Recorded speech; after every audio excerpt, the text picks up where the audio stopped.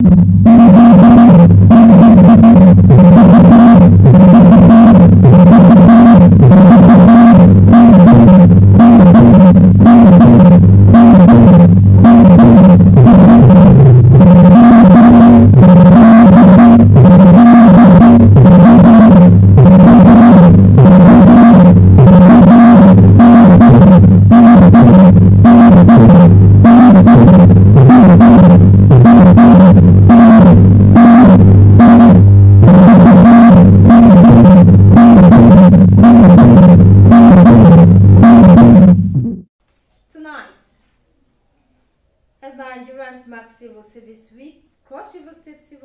Sue for Workers' Free Week to enable registration for PVC collection. Plus, Federal Road Safety Corps Cross River State Command gets new sector commander. Details of this and more presently. A very good evening. Welcome to NTA Calabar News at 7. I am Maureen Ajom. Now the news in detail. As the deadline by INEC for the registration for permanent voter cards draws closer, civil servants in the states are appealing to the state government to declare a work-free week to enable them get registered. Ode Alenyo reports that some civil servants bear their minds citing instances of some states that have availed their workers this opportunity. With the pressure already visible at voters' registration centers, it becomes difficult for civil servants to meet up given their official engagement from Mondays to Friday, since by close of work at 4 o'clock in the evening, the centers are no longer operational. Some of the civil servants who spoke with NTA News say it has been challenging for updating their PVC and relocation to the area close to where they will vote. I think our state should also emulate that, is to give civil servants some that benefit of that and give them at least two, three days so that they can go and then get their PVC because it is very important. That is our tool. Whether a civil servant, a public servant, a businessman, we need to register. I feel that uh, the state government too should do the same thing so that uh, it create avenues for civil servants to go out and get their PV. This is what doing is what doing well. Uh, we, it is the duty of every government to encourage the citizens to come out, either by way of sensitization. And the best way the government can encourage people, especially those in the civil service, is to maybe declare a kind of public holidays so that people will have enough time to go out and register for, for this PVC. However, the head of civil service in Cross River State, Chief Timothy Ogbang Akwaji, says if the INEC did not extend the registration exercise, most civil servants in the state will be given opportunity to register. if there is pressure for more persons to go and do registration, we may get to a point where we also ask government, you know, to give a approval. Maybe take a day or two days for those who have not registered to also formalize their registration. Why? Because uh, Cross River State government takes the, you know, uh, next year's election very, very important. We want a situation where our people will begin to understand, you know, how important it is to exercise their civic responsibilities. The civil servants in the state, however, appealed to the Independent National Electoral Commission to extend the PVC registration exercise at least by two months. In Calabar, Ode Alenyo, NTA News.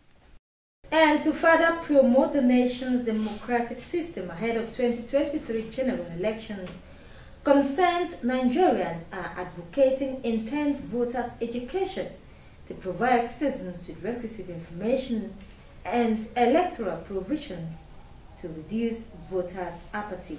Uda Etum completes the story. Voter education has to do with providing citizens with basic information about their participation in elections. It aims to acquaint the electorate with the basic concepts of democracy, thereby encouraging them to vote and make informed decisions during the elections.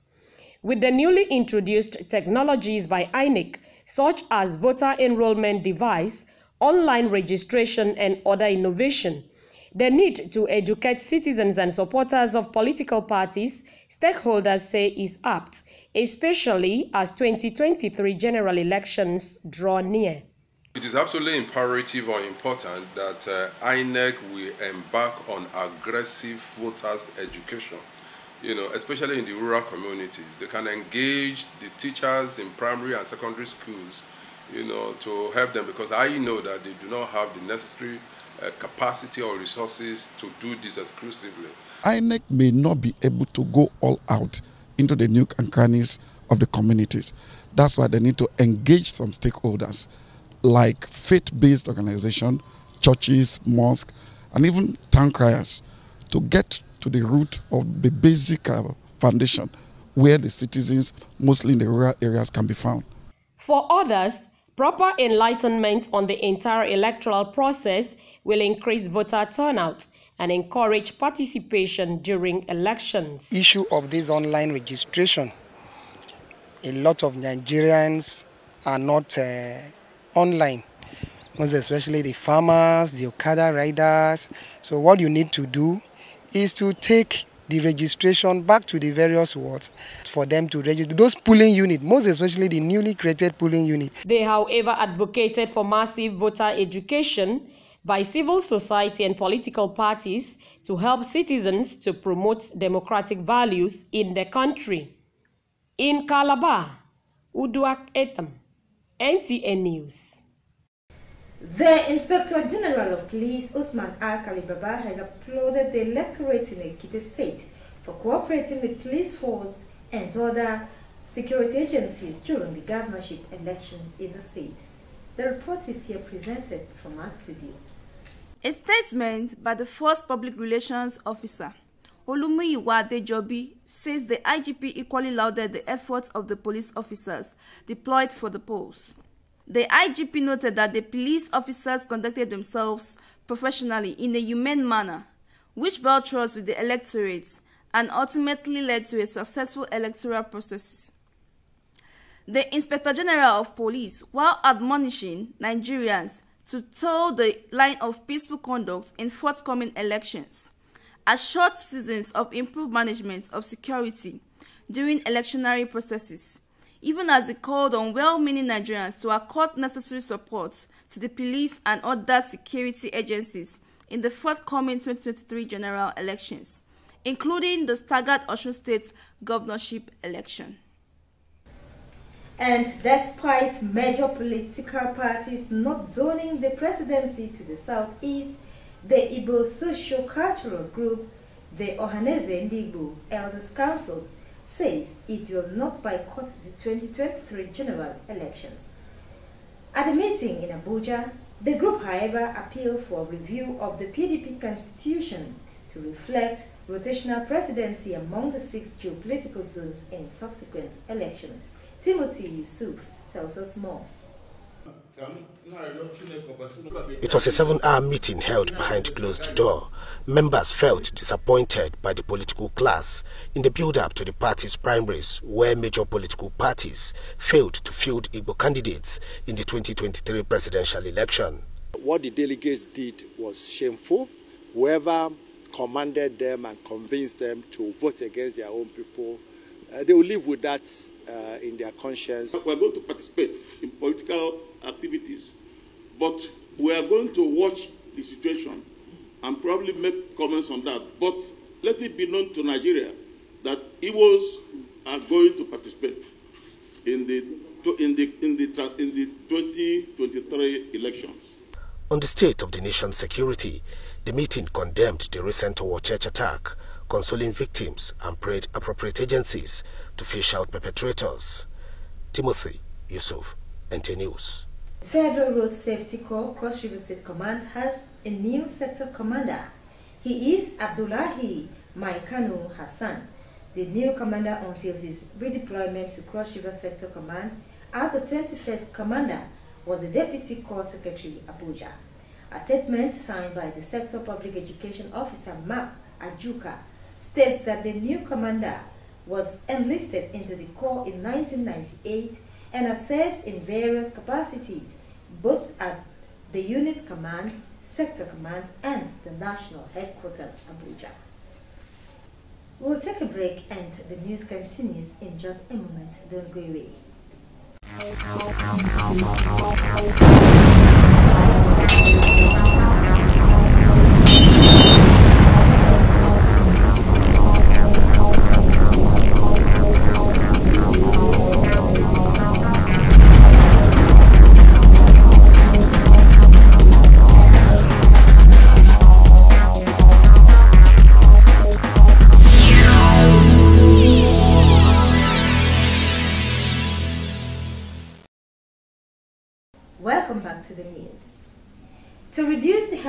Self-medication and drug abuse among people living with sickle cell condition, the Cross River State government is providing free healthcare services through the National Healthcare Insurance Scheme to the people. The Director, Medical and Dental Services in the State Ministry of Health, Dr. Itamesian, disclosed this as part of contribution to commemorate the 2022 World Sickle Day Cell Day in the state. The theme for this year's celebration is Stand Up, Speak Out. The Kano Ultra Modern Cancer Treatment Center is expected to take off by the end of August this year. Governor Abdullahi Umar Ganduje stated this during an inspection visit to the site of the project. Abdullahi Mustafa reports. The multi-billion naira project started four years ago was intended to commence operation by the middle of 2021. That could however not be realized due to unforeseen circumstances. Now, the project is nearing completion with civil works fully executed. In less than two months to come, finishings and installation of equipment will be ready. The sensitive equipment, Your Excellency, are almost completely up, uh, around the cabinet. Processes for the recruitment of personnel would equally commence soon. I've already briefed Mr. President Muhammad Buhari, and he has promised to be here in two months' time in order to commission this all-important project. The center will, in addition to treatment of cancer, also expected to serve research needs of tertiary health and educational institutions. In Kano, Abdullah Mustafa, NTA News. And the Federal Ministry of Health and the National Primary Healthcare Development Agency have reviewed several requests from parents and guardians of teenagers who require COVID-19 vaccination for international travel and schooling abroad. Consequently, the federal government has granted special age waiver for teenagers less than 18 years to receive COVID-19 vaccines for international travels only. Any person less than 18 years required to required to be vaccinated with COVID-19 vaccine for purposes of international travels and schooling will be required to show valid evidence at the vaccination site. Valid evidence include the following visa for international travels, the educational institution's admission letter, and birth certificate, sworn or sworn affidavit. All COVID-19 vaccination teams are hereby required to ensure compliance with these requirements before administering COVID-19 vaccines to any person less than 18 years. We'll take another break and the news continues.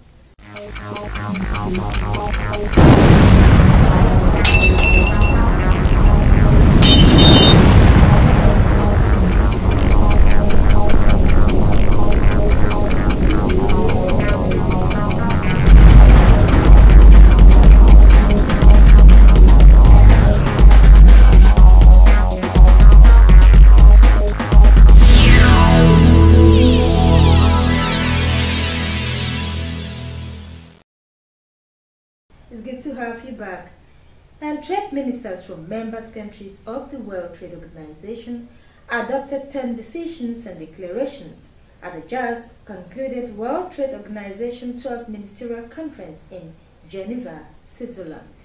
The report is here presented from our studio. Part of the conference outcome document show that of 10 ministerial decisions and declarations adopted by trade ministers, Seven were considered and adopted by the Ministerial Conference, while three were considered by the General Council and brought forward to the ministers for adoption. Worthy of note among the outcomes is the adoption of the 20 years outstanding agreement on fisheries subsidies. The Minister of State for Industry, Trade and Investments, Ambassador Miriam Yalwaji Katagum, who led the Nigerian delegation to the 12th WTO Ministerial Conference, on behalf of the federal government, commended the Director General, WTO, Dr. Ngozi Okonjo-Iweala, on the structured modalities of sections which provided members with a constructive way of engagement on the identified priority areas. Nigeria notes, among other things, WTO response to the pandemic and the agreement on trade-related aspects of intellectual property rights waiver. Food crisis, fisheries subsidies, agricultural reforms, and WTO reform as ideal for LD global trade practices. This is the first ministerial conference since the appointment of Ngozi Okonjo-Iweala as the Director General, World Trade Organization. And from our sports desk, Cynthia Ogun is standing by with updates. Nigeria's Golden Eaglets are set for the semi-final match against Cote d'Ivoire in the WAFU B Under-17 Championship on Tuesday at the Cape Coast Stadium in Ghana. Eaglets are unbeaten in the competition with victories against host Ghana and Togo in Group A. Burkina Faso, who are also unbeaten in the competition, will face Ghana in the other semi-final. The two finalists will feature at the Africa Under-17 Cup of Nations in Algeria next year. Still on football, Africa's soccer governing body, CAF, has announced July 21 as the date for the CAF award ceremony, and Rabat, Morocco, will be the host venue. Winners in the CAF Awards are decided by votes from captains and coaches of the member associations, selected journalists, CAF Technical Study Group, and CAF Legends. The period under review is from September 2021 until June 2022. CAF Awards had been on suspension due to the outbreak of COVID 19, and Senegal's Sadio Mane was the last recipient of the Player of the Year award. And finally, in athletics, the president of the Nigeria Olympic Committee, Habu Gumel, has challenged Nigerian athletes to compete clean and fair by shunning doping that can jeopardize their career and tarnish the country's image. He stated this while declaring the 2022 Nigeria Athletes Commission seminar held in Abuja. The Nigerian Athlete Commission must be up and doing in the area of educating athletes on the grave, grave dangers of doping to their health, career, and our national heritage. The program we have um, um, the WADA doping that is extremely important for us that we talk about it. The seminar became necessary to help educate Nigerian athletes to enhance their performance and growth of sports in Nigeria. With Sports Update, Cynthia Ogun, NT News. Finally, a recap of the major stories. As civil and public servants are marking this year's Civil Service Week, workers in Cross River State are suing for Workers' Free Week to enable them get registered and get their permanent voters card. Also in the news, Federal Road Safety Corps Cross River State Command has a new sector commander. He is Abdullahi Maikanu Hassan. That's it on the news. Many thanks for watching. Do have a good night.